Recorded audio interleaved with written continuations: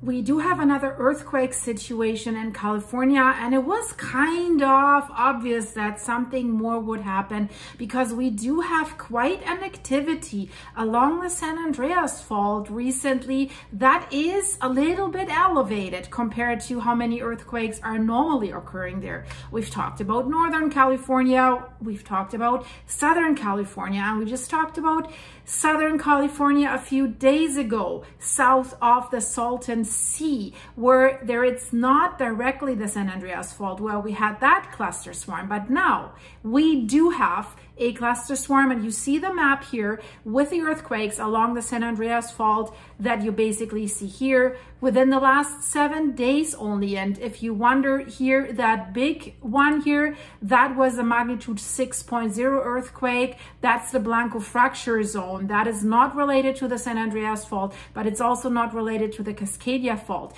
But as always, branching out faults, other faults in the area, depending on how big their earthquakes are, they can trigger the big ones as well. So we always have to be a little bit careful. And watching the San Andreas fault here on that map, yeah, if the San Andreas fault goes off, we now know watch my video wiped out that there's evidence that in the past the San Andreas fault and the Cascadia fault have triggered each other and what that would would mean for the west coast of Canada and the US California Oregon Washington British Columbia Canada the biggest disaster ever. Check out my video in the end screen, guys.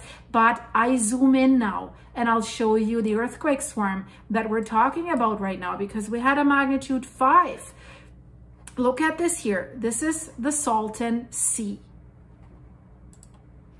The Salton Sea is at the southern end of the San Andreas Fault and this here is an area that I told you in my last video we have to watch very closely because scientists are saying the southern end of the San Andreas Fault is the most locked and loaded. There's the most tension. So what they do suspect if the San Andreas Fault were to trigger, this is a probable location where it all could start. And Indio, you see that settlement here. So where the earthquakes are happening, it's up in the hills, but it's not far away from tightly populated areas. And unfortunately, this is what it is. The red line here that you see, that's the San Andreas Fault. And basically they have built right on the fault or along the fault in that valley. And that's never good. But look at that cluster swarm. Look at that here. How many earthquakes we're dealing with here. I'm, I'm having trouble to even find the five, the magnitude five right now but it certainly is here. We just had another 1.3 while we're talking. So if we zoom in a little bit more, it spreads out. 4.9, they have downgraded it from 5.1 to 4.9, but that's the one I'm talking about. Depth, three kilometers. So you see, very hilly area. It's not directly underneath like a densely populated area, but close enough. So what does that mean? I zoom out again a little bit. So there you go, the red line, that's the San Andreas Fault, right?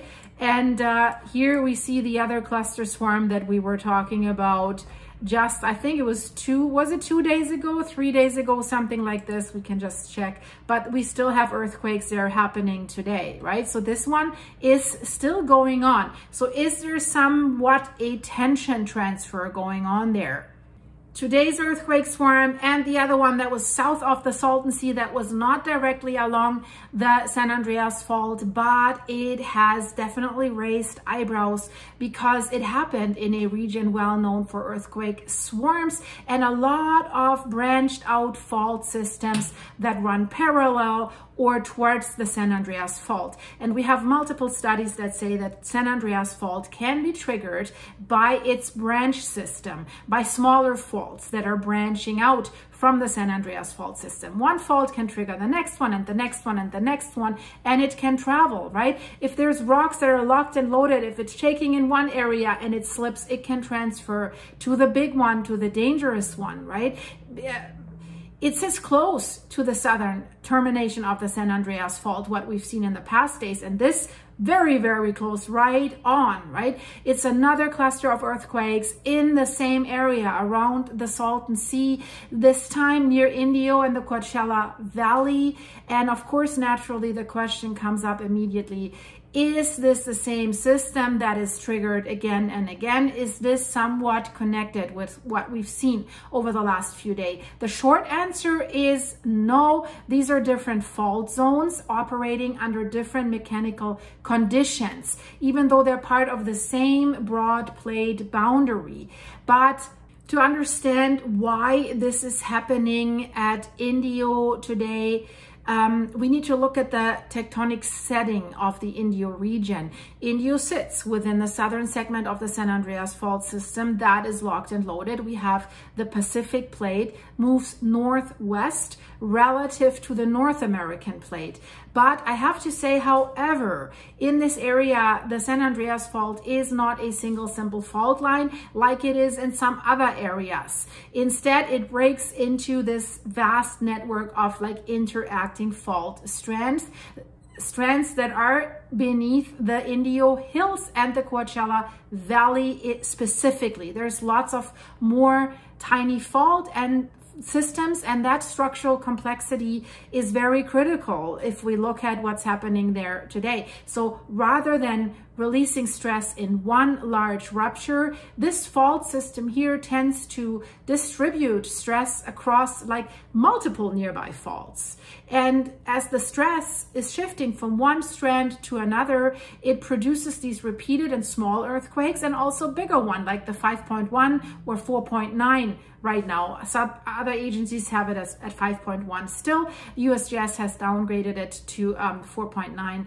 So it forms a swarm of earthquakes, this cluster, right? Um, instead of like one classical main shock aftershock sequence. Although we can say so far the 5.1 uh, looks like a main shock to me, but hopefully we will not see a bigger one. But another key factor that we have to really think about um, in this area is the type of deformation that is occurring there. The Indio region specifically experiences something that we call trans my tongue transpression guys it's a combination of like sideway faults strike a sideway motion um, with that, a strike slip motion, strike slip, right? Like the San Andreas fault, and also compression. So this leads in some areas to localized uplift, to folding, we see the mountains there, and to stress concentrations in the shallow crust. They are not very deep, right? Which further encourages like clustered seismic activity in this area.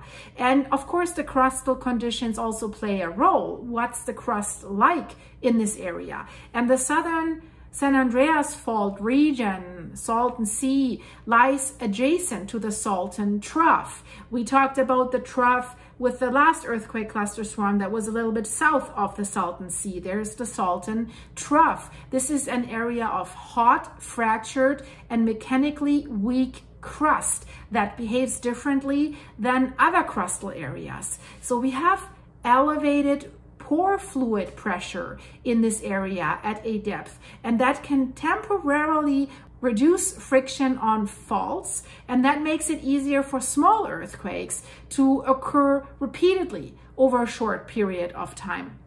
So this combination, we have a complex fault geometry, we have the transpressional stress, and we have fluid influenced weak crust.